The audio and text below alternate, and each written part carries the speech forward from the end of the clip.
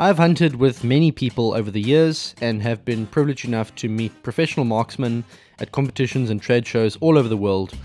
But there's one guy that stands out as a consistent performer, and that's Thayne Simmons. Thayne is not only one of the best hunters I've ever met, but he's also my good friend, and today we're lucky enough to have a whole bunch of footage to look through and analyze, courtesy of the man himself. For those of you who don't know who Thayne is, he's the co owner of Side-Shot along with his dad Vel they make the scope cam that I use on my channel, and just recently he's also started a company called Saber Tactical along with his dad and Donny from Donny FL. They'll be making accessories for PCPs, including some awesome stuff that I've currently got on my Impact. Thayne lives and breathes hunting, as you can probably tell by the van that is kitted out for the sole purpose of being a mobile airgun room for pest control trips from farm to farm. You may recall that I made a few videos last year with Thayne in Utah. We went out and shot ground squirrels and rock chucks with Justin Jacobson of Utah Airguns. Well, that's basically Thayne's backyard, and we're going to be looking through some of Thayne's personal footage today, starting with the good old impact shooting 25 cal slugs. 154 yards. Gonna be a little left right.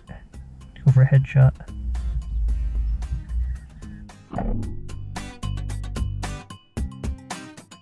The slug curls in perfectly on this first shot for a headshot and it's dead on the spot. The next shot here is at a squirrel. I believe this was also from the 25 cal Nielsen slugs. And again, it's a perfect shot, this time from much closer. One good way to practice for hunting is to pick a random rock, find a firing solution, and see if you can hit it on the first shot. This teaches you to estimate wind accurately and to find a firing solution quickly. Mm-hmm. Absolutely essential skills for long range hunting. Here's Thayne taking some long range practice shots with the 357 American Air Arms Slayer, and when the time comes to line up on a chuck, he's ready for it. Alright, about 126 yards with this Slayer. Let's go for a headshot. Shoot a little left to right.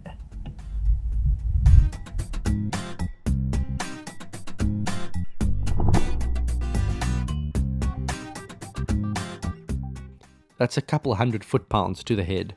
Effective and humane. 126 yards.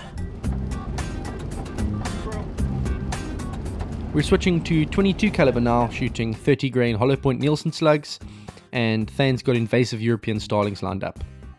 Starlings were actually introduced to both the US and South Africa from England and have become a huge problem in both countries. So Thayne and I share a mutual hate for these annoying birds, and they have to go.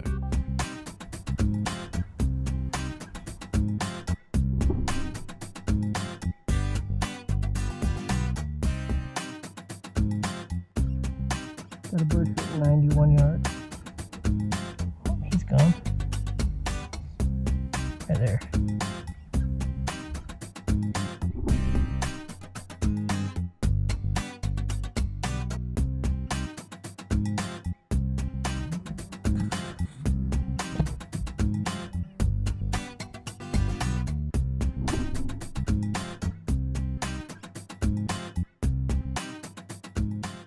And of course, there'll always be a few close ones too. 65 foot pounds to the chest does the trick.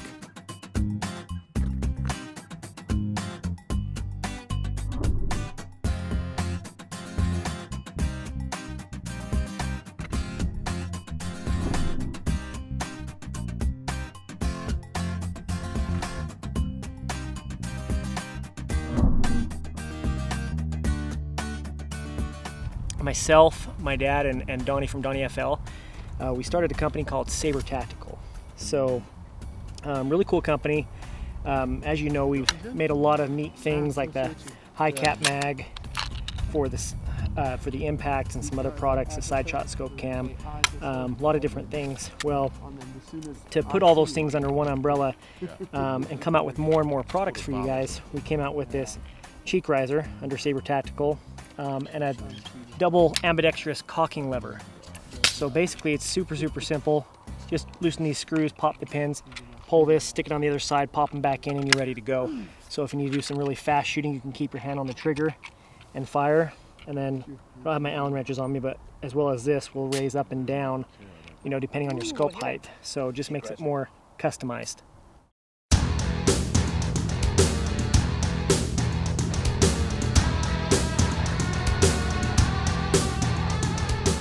I'm not 100% sure which caliber or ammo was used in these next few ground squirrel hunting clips, but judging by the recoil, I'd say either a 30 cal JSB or 25 cal slug. I want to point out that very few of these shots are extremely steady. In other words, the skill set needed for bench shooting and hunting can be very very different. With bench shooting, it's all about keeping your rifle still and a slow trigger pull.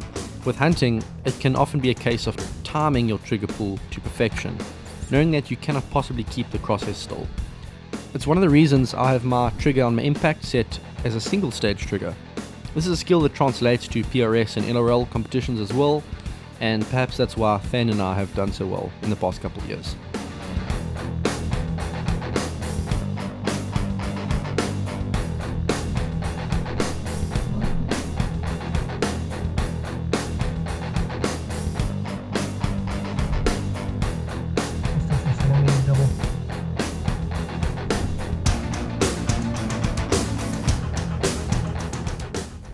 Concept of timing or trigger pull can also apply to target shooting. Here's Thayne shooting a group on a barrel at long range with 22 caliber slugs, and despite the shaking, he manages to stack them on top of each other.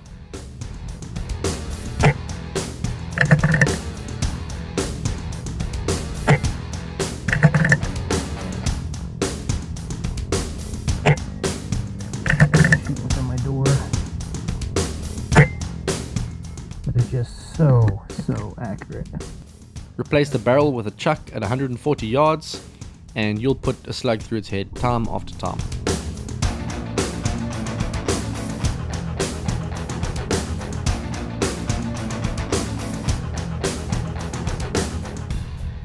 I got a chuck here about 140 yards away.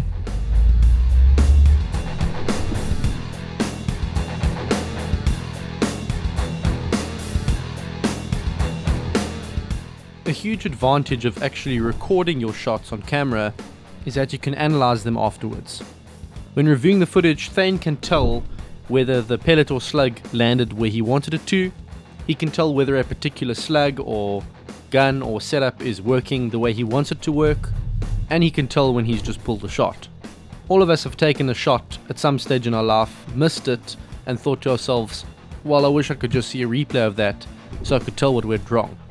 Well, when you're filming through the scope, you can see everything in extreme detail.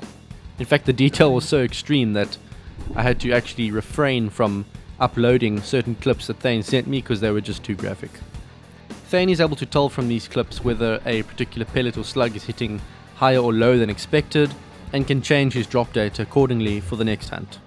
And of course, it's just so much fun to be able to watch all your shots afterwards and a few more from a little bit closer just to finish off the day.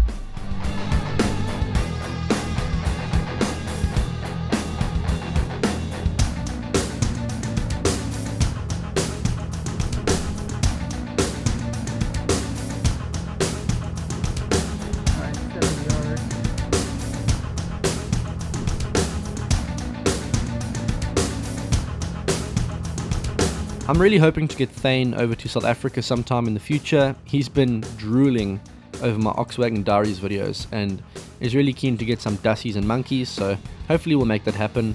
Until then, I hope you enjoyed this video. Please consider subscribing if you haven't already done so, and I'll see you in the next one. Keep well, guys.